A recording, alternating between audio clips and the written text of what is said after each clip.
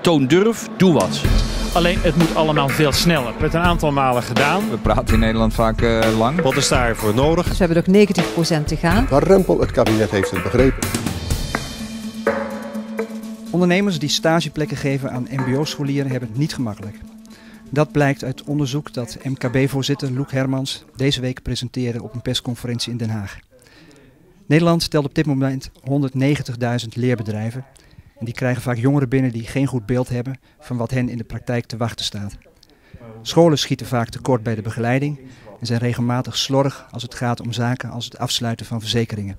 Is Loek Hermans van deze uitkomsten geschrokken? Ja, moet je zeggen geschrokken. Eigenlijk hadden we al zo vaak gehoord dat het eigenlijk niet goed zat. De bedrijven lieten ons steeds weten dat er grote problemen waren met, uh, met de leerwerkplekken in bedrijven. Met name de relatie met de scholen, onduidelijkheid. Uh, heel veel verschillende uh, aanpakken door verschillende onderwijsinstellingen. Kortom, bedrijven waren in grote mate ontevreden. En wat is dan het belangrijkste dat er op dit moment misgaat? Het belangrijkste is eigenlijk dat je kunt zeggen dat uh, voor de bedrijven onvoldoende duidelijk is wat nou precies van hen verlangd wordt. Contacten met de scholen onvoldoende zijn.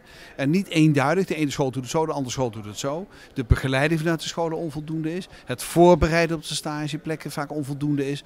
Kortom, uh, bedrijven ook nog eens een keer tot slot vaak worden overgelaten aan hun lot. Op het moment dat er een stagiaire is.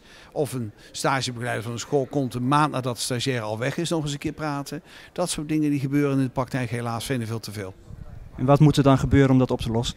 Wat je moet doen is niet alleen maar naar elkaar verwijzen en zeggen jullie doen allemaal fout. Maar het is en een verantwoordelijkheid van de scholen en een verantwoordelijkheid van de bedrijven. Maar ook een verantwoordelijkheid van de COLO, van, de, van de kenniscentra in Nederland die de inhoud van de opleiding goed moeten weergeven. De scholen moeten zorgen voor goede begeleiding en goede voorbereiding van de stageplekken. En de bedrijven moeten goed geoutilleerd zijn om het ook echt allemaal aan te kunnen.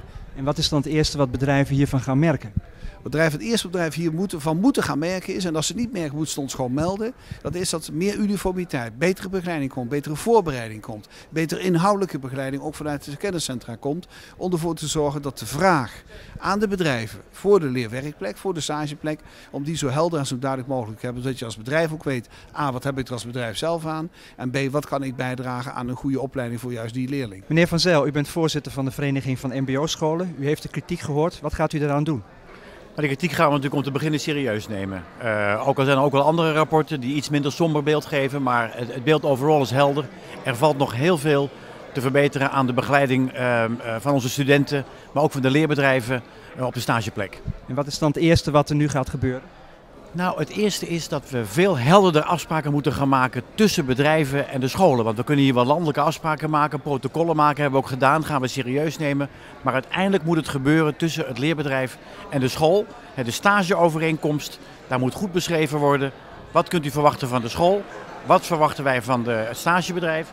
Wat mag ook van de student gevraagd worden? Want die moet goed geëquipeerd aan zijn stage beginnen.